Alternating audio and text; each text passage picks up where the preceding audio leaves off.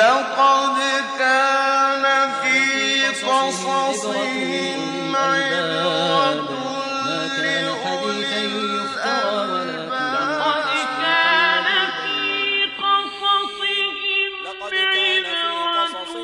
لأولي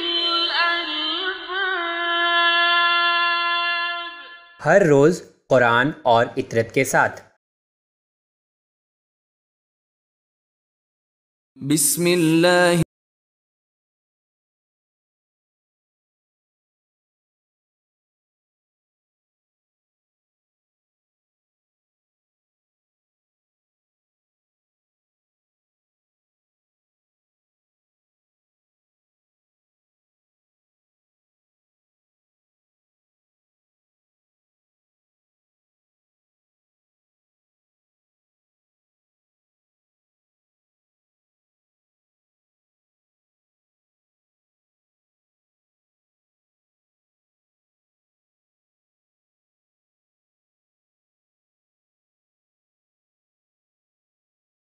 خداوند عالم ارشاد فرما رہا ہے۔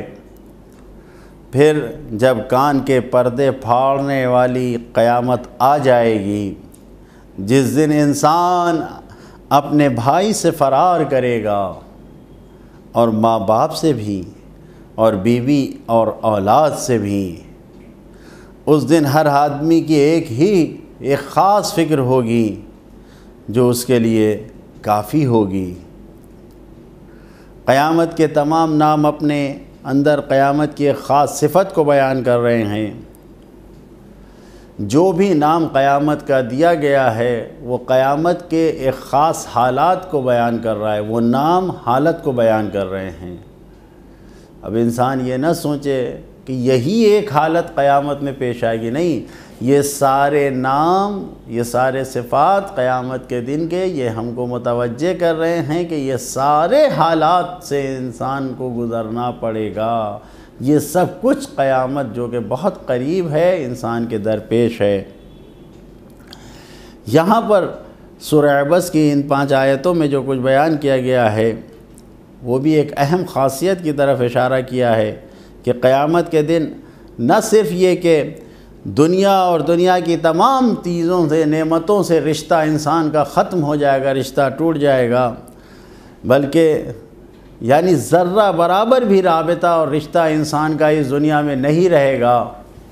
صرف یہی نہیں، بلکہ انسان غور کرے اپنے تمام رشتہ داروں کو کھو بیٹھے گا۔ جتنے بھی انسان کے رشتہ دار ہیں، سب سے انسان دوری اختیار کرے گا، کھو بیٹھے گا۔ مطلب یہ نہیں ہے کہ انسان چاہے گا اور وہ نہیں ملے گا۔ نہیں، انسان قیامت کے دن بھاگے گا، فرار کرے گا۔ ایک دوسرے کے قریب آنا پسند نہیں کرے گا، وقت نہیں ملے گا انسان کو۔ کیونکہ صرف اپنی فکر میں ہوگا، صرف اپنی فکر میں ہوگا، اپنے قریب سے قریب رشتہ داروں سے بھاگتے ہوئے اپنی نجات کی فکر کرے گا۔ کوئی دوسری فکر انسان کے قریب نہیں آئے گی، صرف اپنی فکر میں ہوگا نفسہ نفسی کا عالم ہوگا واہ نفسا واہ نفسا کا نعرہ بلند ہوگا، چیخ و پکار بلند ہوگی۔ انسان صرف اپنی فکر میں رہے گا۔ سرکار رسالت میں آپ صلی اللہ علیہ وآلہ وسلم ارشاد فرما رہے ہیں اے فاطمہ، سلام اللہ علیہ قیامت کے دن انسان ایسا اپنے آپ میں الجھے ہوں گے کہ کوئی بھی انسان کسی دوسرے کی طرف نگاہ اٹھا کر بھی نہ دیکھے گا۔ یہاں تک کہ کوئی باپ اپنے کسی بیٹے کو نہ دیکھے گا۔